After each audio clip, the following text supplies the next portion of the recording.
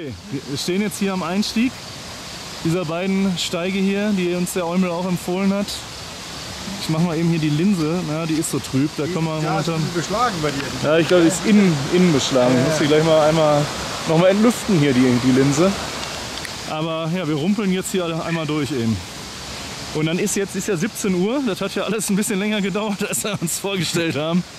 Ähm, wahrscheinlich haben wir danach 8 Uhr. Und der Rosse da, der wird uns hier wahrscheinlich ja dann noch hier, Chordi heißt er ja in Wirklichkeit hier, der wird uns noch ein 5-Gänge-Menü zaubern. Wahrscheinlich, man weiß es nicht genau. Hier aus äh, andorianischen Bergziegen garniert mit Enziankräuter. Enzian-Ziegen sozusagen. Sehr geil. Ich bin sehr, sehr gespannt auf heute Abend. Dank der Powerbank haben wir jetzt hier noch etwas GPS. Ja. Die Ausschilderung lässt ein bisschen zu wünschen übrig.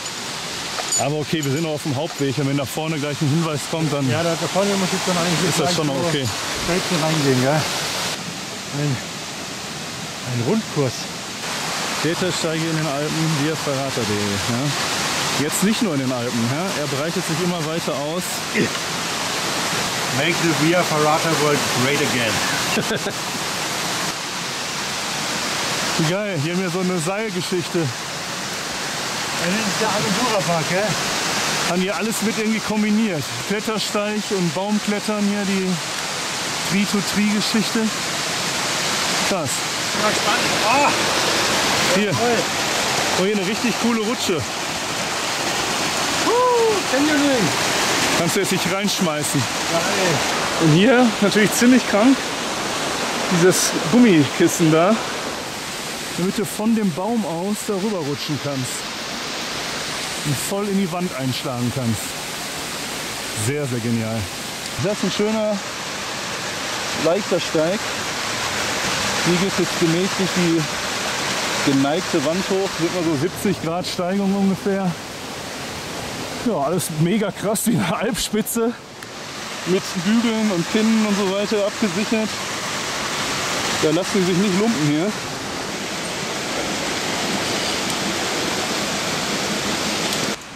Hinter ihm kann man sehr schön diese, diesen Baumkletterpark sehen. Da sind die Seile hin und her gespannt.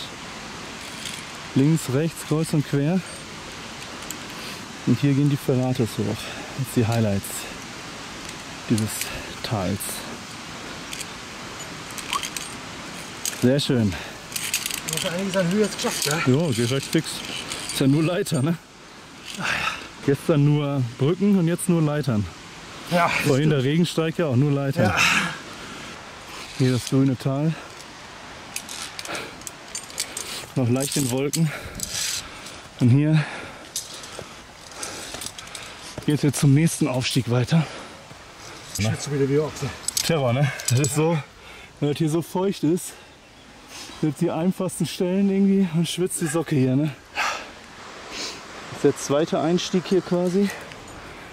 Zweite Etappe. Mal sehen, was da oben kommt. Jetzt hier so eine kleine Zwischenquerung hier. Da geht's jetzt hoch mit einer Kette. Und hier sind wir gerade raufgekommen. Ja, sehr schön top gesichert alles hier. Schöner kleiner Übungssteig. Das ist aber einfacher wie der erste, gell? Viel einfacher, ja.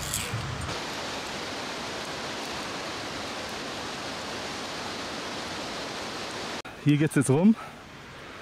Der Ausstieg aus der kleinen Querung hier. Da geht's hier hoch. Hier sieht man ganz doll einen fast senkrechten Aufschwung mit Bügeln.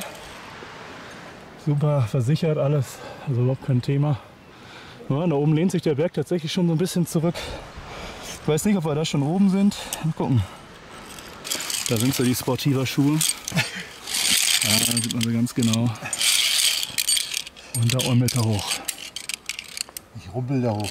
Rumpel. Das ist auch ein neuer Begriff, den habe ich vorher noch nicht so verwendet. Wir rumpeln da hoch.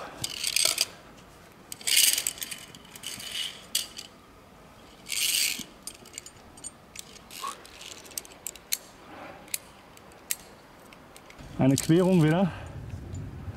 Kleiner Quergang.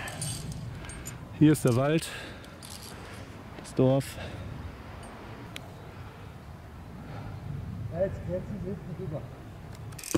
Was kommt denn hier jetzt? Na, da hinten denke ich mal, müssen wir auch noch rauf.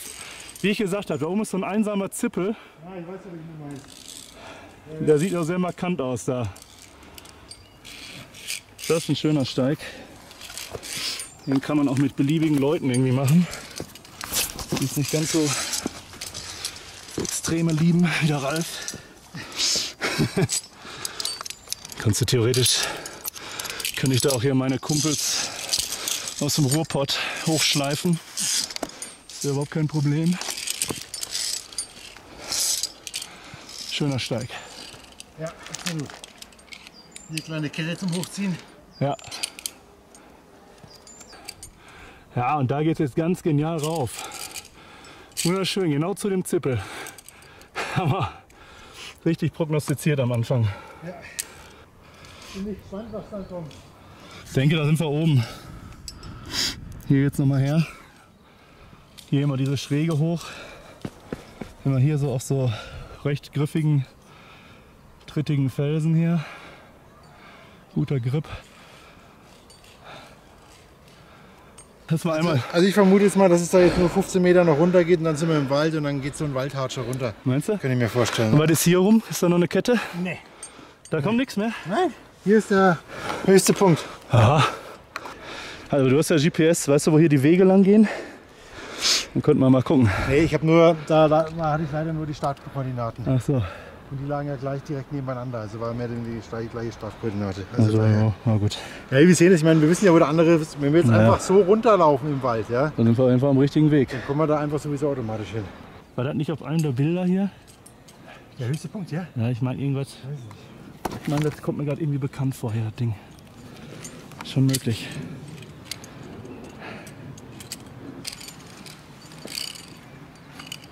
Unterrumpeln, ey. Einen Begriff.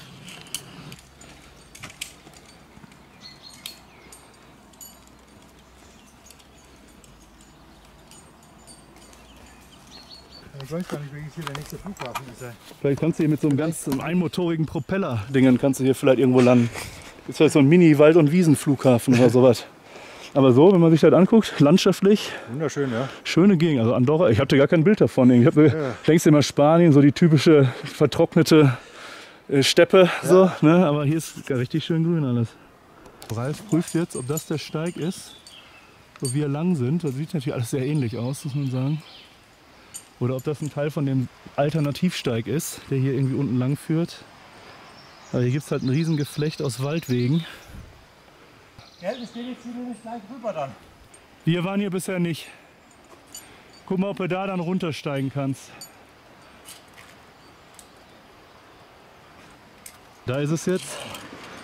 Das ist der obere Teil des anderen unteren Segments. Eine Alternative. Da unten sieht man auch schon so ein bisschen diesen Baum mit diesem Klettergeramsel dran. Ganz genau. Da geht es jetzt runter. Aber viel kam die Sonne jetzt echt noch nicht raus. Also das wird jetzt nicht, wird nicht das Drama sein. Das sollte doch funktionieren. Ratzfatz runter jetzt auf jeden Fall.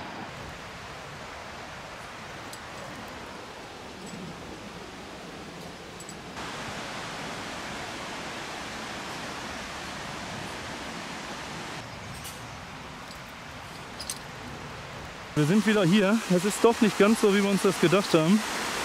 Hier ist erstmal das Einschlagskissen. Ja. Aber tatsächlich geht es hier noch hoch. Also da war irgendwo noch eine Variante, die wir nicht gesehen haben. Ja, schau mal, da drüben ist auch noch ein Klettersteig, oder? Siehst du das? Das sieht mir auch nach einem Seil aus, ja. Ja, ja. Aber da war jetzt kein Schild irgendwie von wegen Klettersteig. Also. Aber ich sag mal, im Großen und Ganzen haben wir von dieser Wand alles gesehen. Alles weggehauen, ja? Ja, definitiv. Ja, das ist hier so ein Idyll hier, ne? Hammer.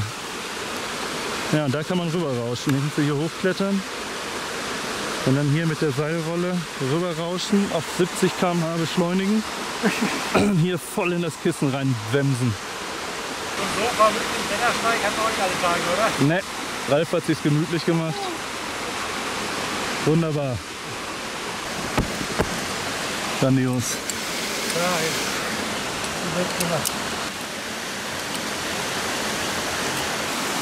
Da sind wir wieder zurück in unserem Idyll hier.